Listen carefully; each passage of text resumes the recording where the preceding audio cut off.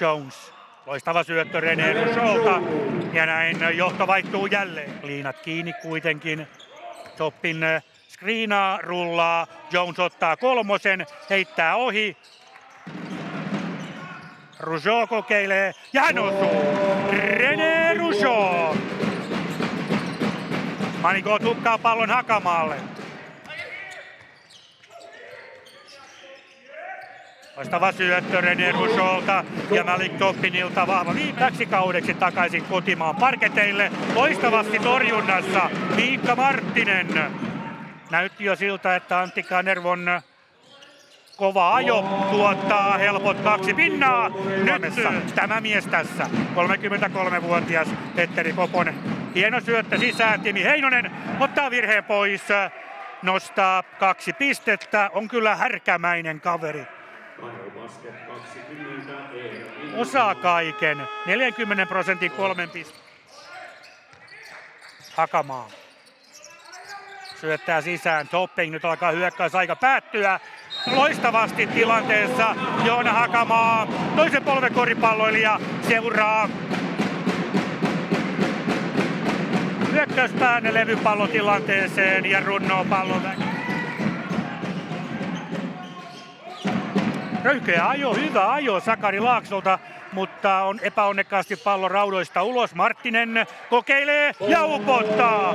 Miikka Marttinen jatkaa. isot, isot odotukset sekä henkilökohtaisella että joukkuetasolla tähän kauteen.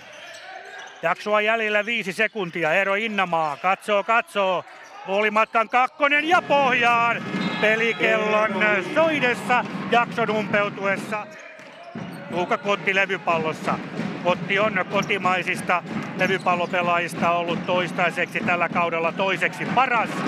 Hyvä puolustusta Hakamalta häiritsi sen verran, että Petteri Koponen ei onnistu kahden pisteen heitossaan, mutta ei onnistu myöskään Cameron Jones, René Rougeau raapii kuitenkin hyökkäyspään levypallon. Tuukka Kotti unohtaa tällä kertaa sulkea Ruso pääsee vastaan kaukeinen. Nikkariselta loistava ajo, mutta viimeistely Inasen ontuu. Oli todella terävä tuo ajo lähtö.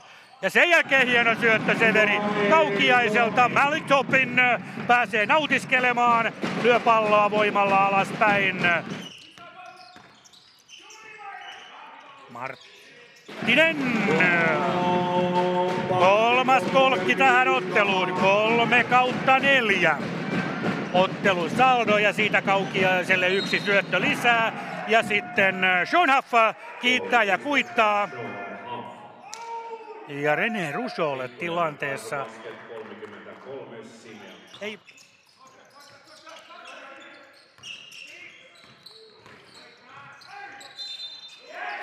Hienoa jo Cameron Jonesilta. Hetken näytti jo siltä, että pallo hiukan lipsahtaa hänen käsistään. Toisin kävi hieno kuljetus, harhautus.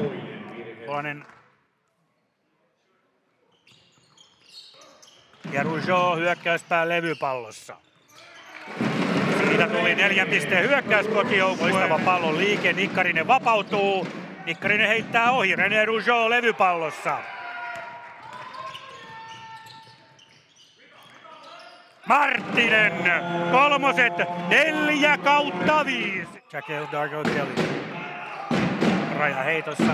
Jooda Hakamaa, numero 23 tullut kotijoukkueelta kentälle. Sean Huff aivan vapaana. Nyt nämä kolmen pisteen tykit löytyvät. Ja Janne Koskimies ei voi muuta kuin levitellä käsiään Karubasketin vaihtopenkin päässä. Ero on supistunut. Selviää 37-vuotias Sean Huff.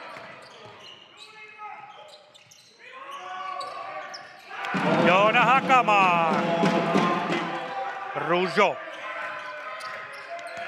Ikää jo 35 vuotta, mutta askel on edelleen terävä. Hieno crossover siinä puolustaja täysin kahville ja kuinka ollakaan. Kotijoukkueen johto jo taas 12 pistettä, eli 11-3 viimeiset pari-kolme minuuttia kotijoukkueelle. Ja näin. Tuukka Kotilla kuusi levypalloa. Carter! muuten osu, niin lyö. Jones levypallossa, Rougeau, Jones uudestaan.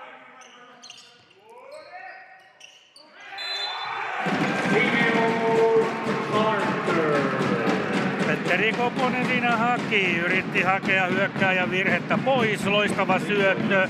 Siinä oli hiukan äh. Pääseekö Jones riistoon? Kova taistelua Manigold. Ja lopulta sitten Kaderille, joka pääsee nautiskelemaan palloa voimalla alaspäin koriin. Ja kyllä tämä on nyt Seagalsin näkökulmasta lopun alkua. 82-64. Eli 11-4. Mennyt ensimmäiset kolme minuuttia päätös neljännekseltä kotijoukkueelle. 11-4 ja näin lukemat tosiaankin 82. Näin pääsee sitten Basket jo nautiskelemaan ja tässä taitaa nyt käydä niin, että